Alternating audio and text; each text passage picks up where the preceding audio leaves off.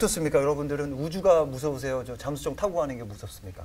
어, 둘다 무서워. 둘 다 무서워. 둘 다 무서워. 둘 다 무섭고. 이런 게 약간 타기 전에 그 막 서 약 같은 네네. 거 하잖아요. 네네. 뭐 사고가 나도 음. 절대 뭐 책임을 묻지 않겠다. 근데 그런 거를 사인할 때 자체가 아 내가 죽을 수도 있겠구나. 이제 이런 그럼요. 거에 대한 공포감 때문에 더 좀 각오를 맞아. 하고 타는 것 같아요. 그러니까 좀 지금 실제로 이것도 면책 동의서라고 하는데 그 네. 면책 동의서 서류에 사망이라는 단어만 네 번이 아. 들어갔다고 하더라고요. 그래서 뭐 사망, 전신 불구 될 수 있는 것도 감수하겠다. 그리고 이 해야지, 이렇게까지 잠수정은 하고. 시제품으로서 어떠한 공인 기관으로부터 승인 받지도 않았고 검사도 아. 통과하지 않았다. 이렇게 면책 조항에 있었는데 그걸 다 사인을 하고 이제 타신 거죠, 사실. 뭐 이렇게까지 해야 되나 싶네요, 진짜 기자님. 아, 이제 이런 내용이 들어있는데 네. 그걸 다 사인을 하고. 네, 네, 네. 어, 근데 이게 약간 그 심리가 아 설마 그 그 사고가 나한테 오겠어? 죽겠어, 뭐 아, 이런 생각. 그런 생각을 아마 하는 것 같고 음. 아니면 어떻게 타요? 왜 우리가 피부과 가서 시술 같은 거 받을 때도 뭐 쓰지 않아요? 뭐. 이거- 수술할 때 수술 동의서. 어, 아, 그런 아, 거